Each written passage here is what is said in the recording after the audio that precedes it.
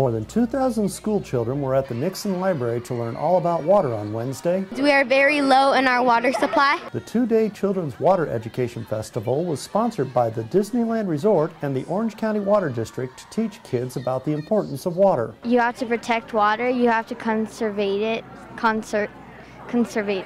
Yeah.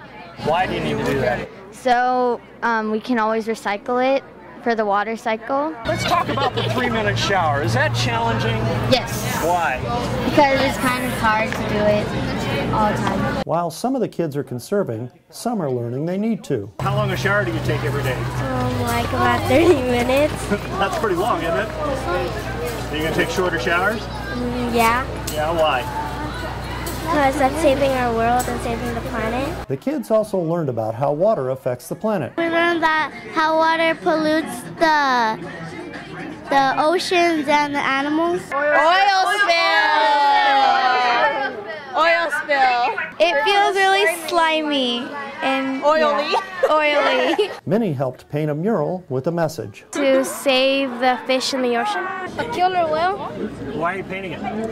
Because we're talking about conserving the ocean. What did you paint and why?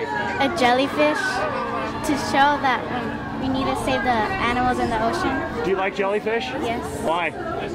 I like how they um, move and what the color they are. But don't they sting you and stuff? Yeah, but they're interesting. Mark Eads reporting for OCRegister.com.